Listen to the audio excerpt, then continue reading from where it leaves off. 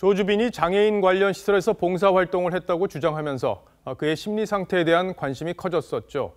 이번에는 조주빈이 대학생 시절 범죄 수사를 도와서 경찰로부터 감사장까지 받은 사실이 새롭게 드러났습니다. 어떻게 된 일인지 성민혁 기자가 취재했습니다. 인터넷 커뮤니티 DC인사이드에 올라온 경찰 감사장입니다. 글쓴이는 박사 조주빈. 경찰과 공조해 보이스피싱 조직 10명가량을 검거했다며 인증 사진을 올린 겁니다. 경찰은 지난 2018년 1월 조주빈이 보이스피싱 인출책을 신고한 공을 인정받아 인천의 한 경찰서에서 감사장을 받았다고 밝혔습니다. 당시 조주빈은 졸업을 앞둔 대학생 신분이었습니다. 지난해 4월까지 보이스피싱과 마약 사범 신고로 모두 5차례 신고 보상금을 받기도 했습니다.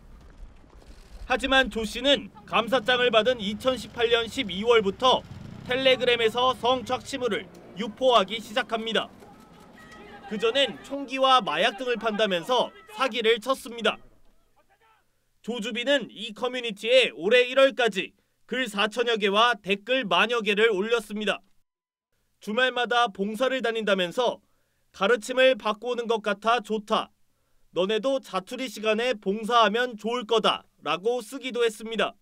위장으로 봐야 될 것 같고요. 이중적인 면이 있다고.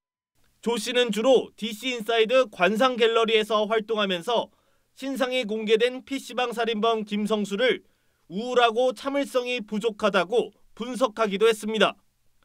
박사방을 운영하던 지난해 3월엔 태연이 베트남 여행기를 올렸습니다. TV조선 성민혁입니다.